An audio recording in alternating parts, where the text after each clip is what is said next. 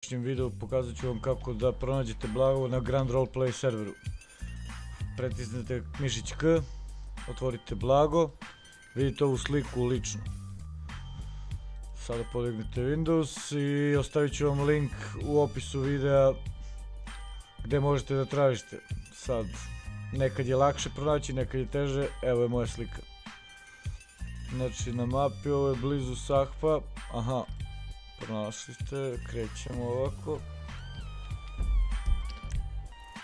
Ja sam tu blizu, to je negdje ovdje otprilike.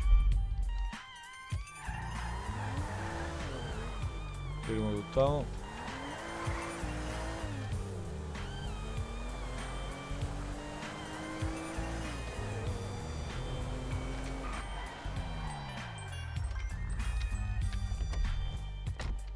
To je negdje ovdje znači. Uvijek dobro pogledajte, trebate da nađete kao neki padobrančić. Evo ga.